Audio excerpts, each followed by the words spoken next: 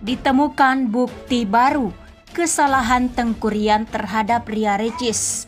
Pantas Ibu Mawana tak beri ampun. Berkoar-koar tak ada orang ketiga. Nyatanya isi gugatan cerai mengarah ke orang ketiga. Isi gugatan cerai Ria Ricis bikin pihak Tengkurian bingung.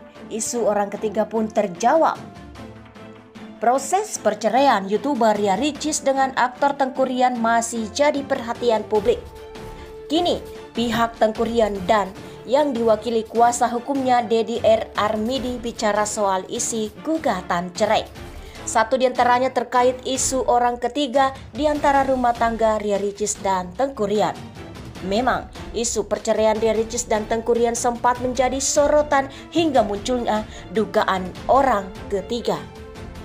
Bahkan nama artis Celia Thomas pun sempat dikaitkan dengan rumah tangga Ricis dan Rian. Terkait kebenaran kabar tersebut, Dedi secara tegas membantah Rian memiliki orang ketiga.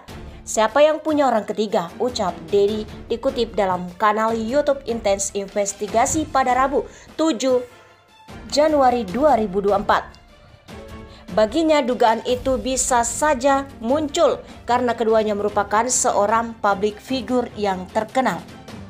Kalau isu orang ketiga yang namanya public figure sangat mudah bersosialisasi dengan siapa pun.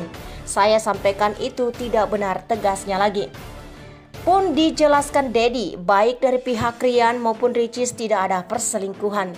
Tidak ada perselingkuhan baik yang dilakukan oleh Rian maupun oleh pihak sebelah ucapnya.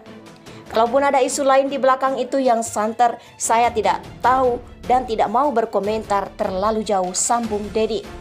Sementara menyinggung soal isu gugatan cerai yang dilayangkan Ricis ke Pengadilan Agama Jakarta Selatan pada 30 Januari 2024, Dedi mengatakan kini sudah menerimanya. Bagaimana menurut kalian?